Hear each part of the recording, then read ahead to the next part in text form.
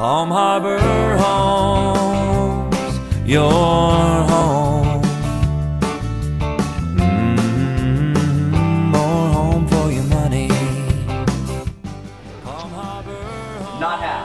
Not one, not two, not three, but four years. Palm Harbor Homes, more home for your money. Palm Harbor Homes, home.